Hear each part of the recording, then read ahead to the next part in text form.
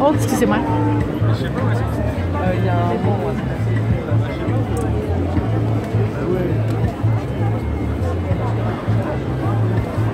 Signez massivement la carte pétition mise à votre disposition.